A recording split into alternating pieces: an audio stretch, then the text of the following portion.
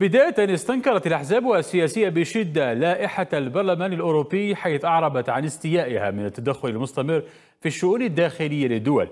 وأكدوا أن هناك العديد من القضايا المهمة التي كان على البرلمان الأوروبي الاهتمام بها.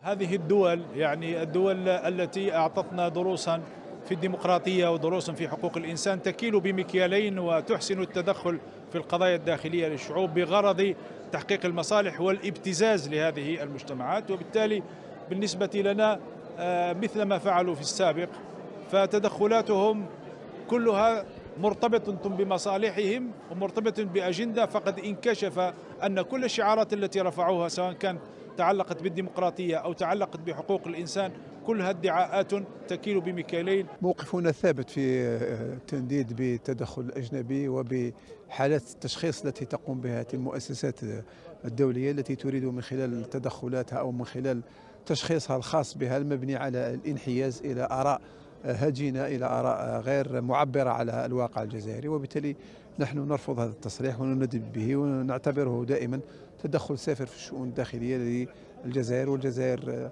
سيدة في مواقفها سيدة في قراراتها لا تحتاج أبدا إلى من يلقنها دروس في كيفية التعامل مع شعوبها.